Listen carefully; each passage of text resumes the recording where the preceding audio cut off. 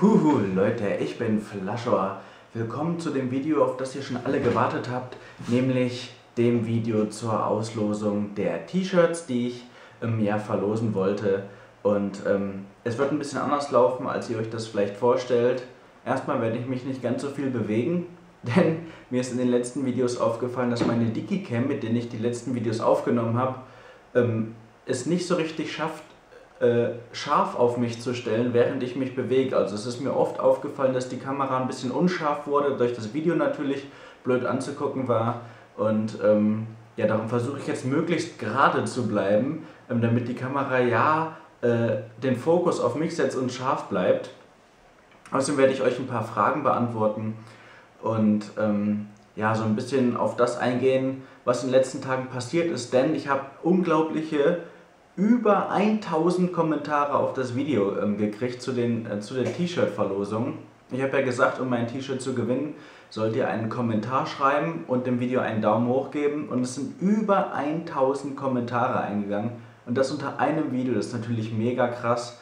Und da hat es mich natürlich auch erstmal ein bisschen Zeit gekostet, die Kommentare alle durchzulesen. Darum kommt das Video jetzt auch erst jetzt ähm, und nicht schon am Montag, wo die Verlosung zu Ende war. Ähm, denn ich wollte natürlich auch wirklich alle Kommentare lesen. Und das habe ich auch tatsächlich gemacht. Ich habe mir alles ähm, ja, angeguckt und durchgelesen. Ich habe mich wirklich riesig gefreut. Ich glaube, das, das Tollste an diesem Gewinnspiel war eigentlich, diese ganzen Kommentare zu lesen. Das hat so viel Bock gemacht. Da waren ähm, super liebe und nette Kommentare, Glückwünsche.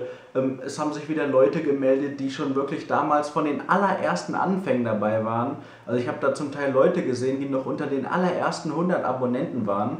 Und das ist natürlich mega cool und krass und ähm, ja, das hat mir mega Bock gemacht, da diese ganzen Kommentare durchzulesen. Und ähm, hat zwar, wie gesagt, etwas gedauert, weil es so viele waren, aber ich wollte auch niemanden überspringen oder sowas. Und ähm, ja, darum kommt das Video jetzt. Ich denke, ähm, es ist für euch nicht ähm, ganz so schlimm. Die Leute, die gewonnen haben, die werde ich jetzt in diesem Video nicht laut vorlesen oder sowas. Das finde ich irgendwie ein bisschen blöd, ähm, die live im Video zu nennen. Einerseits äh, ist es natürlich cool und die freuen sich vielleicht, andererseits will ich aber auch nicht, dass irgendwie Neid oder irgendwie sowas aufkommt und so. Darum, ich habe die, die Leute, die gewonnen haben, die zehn Leute, die habe ich bereits mir rausgeschrieben die habe ich in der Liste stehen. Ich habe auch alles überprüft, ob damit alles in Ordnung ist. Und die werde ich dann jetzt ähm, ja, demnächst, also spätestens morgen werde ich die Leute anschreiben und dann wisst ihr, ob ihr ein T-Shirt gewonnen habt oder nicht.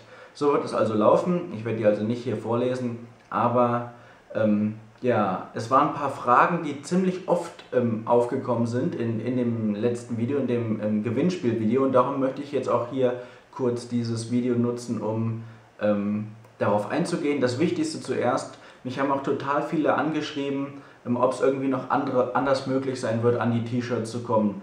Und das ist auch gleich eine Sache, mit der hätte ich niemals gerechnet. Also klar, ähm, es gibt was umsonst, gibt ein paar T-Shirts zum Anziehen, will man vielleicht haben, also schreibt mir mal einen Kommentar, aber dass, da, dass die wirklich so, so beliebt werden, die T-Shirts, hätte ich nicht gedacht. Also und das hat mich selbst ein bisschen erstaunt, dass so viele Leute wirklich so heiß auf die T-Shirts waren. Nicht nur von wegen, ach ja, komm, wenn man die mal abstauben kann, nehmen wir sie mit.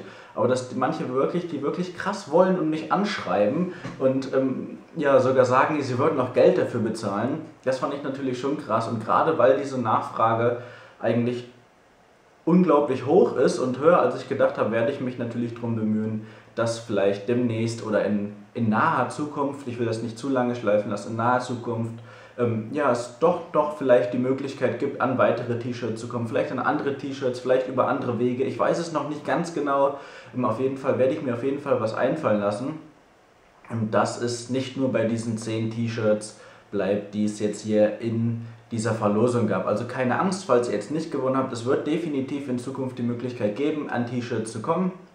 Und ähm, wie, weiß ich noch nicht ganz genau, aber wie gesagt, da kommt auf jeden Fall was. Naja, eine andere Sache, die ich sehr, sehr lustig fand, war, ähm, dass viele überhaupt nicht die Flasche-LP-T-Shirts haben wollten, sondern das T-Shirt, was ich in der Verlosung anhatte. Dieses T-Shirt, wo diese Delfine vorne drauf haben, wo steht, Delfine sind schwule Haie. Dass das T-Shirt so gut ankommt, hätte ich auch nicht gedacht. Also, das habe ich schon seit Jahren, das ist schon ur, uralt. Da bin ich noch zur Schule gegangen Und das ist ja schon lange her. Ähm, da hatte ich dieses T-Shirt schon und das war damals voll angesagt und das kannten auch eigentlich alle. Also damals bei uns äh, in meiner Jugend, sage ich jetzt mal, äh, da war dieser Spruch, Delfine sind schwule Haie, total bekannt und es kannte eigentlich jeder, zumindest aus meinem Freundeskreis, jetzt unabhängig von meinem T-Shirt.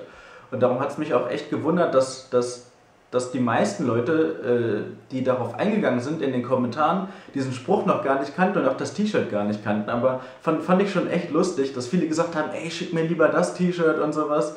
Äh, war, war eine ganz witzige Sache. Ja, und die letzte Sache, die ich noch schnell äh, sagen will, das wurde auch sehr, sehr oft gefragt und zwar war die Frage, ob ich im Gefängnis bin. da musste ich auch ehrlich gesagt jedes Mal ein bisschen schmunzeln, ähm, ob ich meine Let's Plays aus dem Gefängnis oder sowas mache oder ob ich in einer Gefängniszelle wohne. Nein, wohne ich nicht. Ich wohne in einer Studenten-WG. Ähm, wir sind eine Vier-Mann-WG und ich bin nun mal ein armer Student, habe kaum was zu essen, muss irgendwie gucken, wie ich überlebe. Und dann kann man sich natürlich keine riesengroße Wohnung leisten. Mein Zimmer hier hat 16 Quadratmeter. Ihr seht jetzt natürlich in diesem Video nicht viel. Vielleicht werde ich mal, da, das haben auch einige gefragt, ähm, ein Video darüber machen, wie ich so wohne. Vielleicht nehme ich mir dann mal die Cam und laufe hier in der Wohnung rum und dann kann ich euch im Prinzip zeigen, wie ich wohne. Es sieht in dem Video schlimmer aus, als es in Wirklichkeit ist. Da muss ich sagen, sieht es tatsächlich irgendwie so ein bisschen aus wie eine Gefängniszelle, aber ist es nicht. 16 Quadratmeter lässt sich eigentlich gut drin wohnen. Die meisten Studenten hier in Darmstadt wohnen in weniger als 16 Quadratmeter. Also ich habe noch vergleichsweise ein großes Zimmer und auch bei mir hier in der WG das größte Zimmer. Die anderen haben meistens nur 12 Quadratmeter, ich habe 16. Und dass man da so hinten in der Ecke ein Waschbecken sieht, liegt auch nicht daran. Das war, glaube ich, der Hauptgrund, warum die meisten dachten, ich wohne in einem Gefängnis. Ähm, das hat den Grund, dass man in einer Studenten-WG, gerade wenn man mit vier Leuten äh, zusammen wohnt, die alle morgens gleichzeitig früh raus müssen, um in die Uni zu gehen, dass man da schnell mal äh, sich behindert im Bad und Stau aufkommt. Der eine will duschen, der andere will sich die Zähne putzen, dann muss einer auf Toilette und sowas alles. Und ähm, ja, das ist natürlich alles ein bisschen stressig, gerade wenn alle gleichzeitig los müssen. Und darum ist es bei uns hier in der WG so, dass jeder Einzelne bei sich ein Waschbecken im Zimmer hat. Da kann man sich zumindest schon mal ein bisschen waschen und die, schon mal die Zähne putzen und sowas. Muss man halt zum Duschen dann halt ins Bad, aber den Großteil kann man dann schon mal selbst im Zimmer machen. Das ist eigentlich ziemlich praktisch. Sieht zwar zugegebenermaßen nicht ganz so schön aus und wenn man es aus so einem komischen Winkel sieht wie ihr, echt irgendwie wie eine Gefängniszelle, aber es ist wirklich einfach ja, praktischer, wenn man mit so vielen Jugendlichen oder Studenten zusammen wohnt, wenn da jeder selber im Prinzip ein Waschbecken bei sich im Zimmer hat. Naja, das auf jeden Fall dazu. Das war es dann eigentlich auch schon mit diesem Video. Wie gesagt, ähm, die Gewinner stehen bereits fest und werden jetzt in den nächsten Tagen angeschrieben, dann definitiv, ähm, dass sie gewonnen haben. Ihr braucht also keine Kommentare mehr unter das alte Video schreiben. Die Verlosung ist durch. Ähm, ich hoffe, ich konnte euch den Großteil der Fragen beantworten. Natürlich immer, falls ihr irgendwelche Fragen noch habt an mich, könnt ihr immer gerne mich per privater Nachricht auf YouTube anschreiben.